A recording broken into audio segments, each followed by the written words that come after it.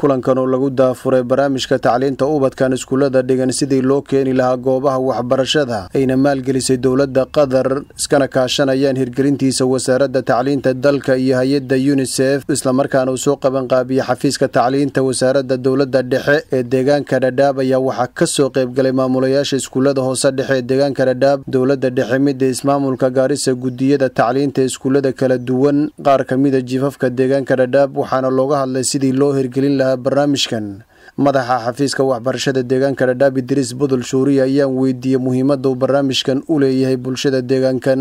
Horta waa howlgal loogu talagalay in carruurta iskuullada ka maqan dib loogu soo celiyo xarumaha waxbarashada.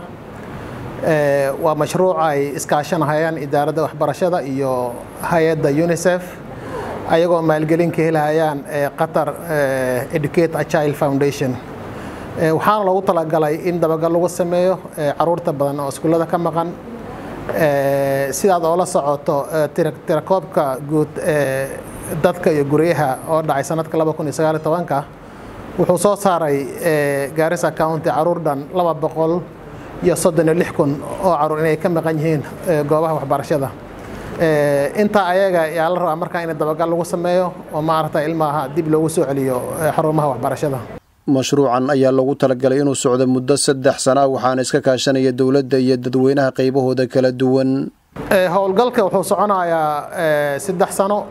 Wuxuu noo bilowday bisha sagaalaad ee sanadka ilaa bishii sideedaad ee sanadka laba kun iyo labaatan iyo saddex ayuu soconaya insha allah. Idriis budul shuuriye madaxa tacliinta deegaanka dhadhaab ayaa bulshada kula dardaarmay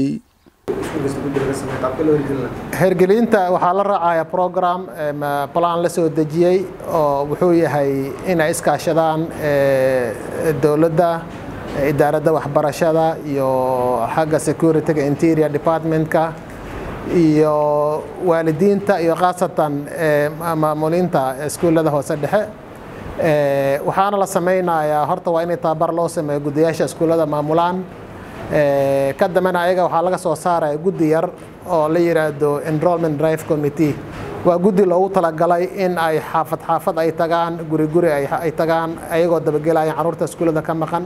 Saas awgeed marka ayaa la soo celinaya iskuullada lagu soo celinaya. Iskuullada markii la keeno carruurta ayaga waxaa loo sameynayaa wax sapood ama caawin bay helayaan. Caawinta ay ka mid tahay in kuraasyaha ay ku fariistaan loo kordhiyo fasalada naftood in macnaha loo kordhiyo sifo ay maaragtahay ilmaha badan iskuullada ku soo beeri doonaan ay uga qayb qaataan. Waxaan leeyahay horta waalidiinta iyo macalimiinta iyo khaasatan macalimiinta iskuullada maamulaan. Howlgalkan inta ka hore mar baa la sameeyey sanadka laba kun iyo lix iyo tobanka ilaa laba kun iyo sideed iyo toban.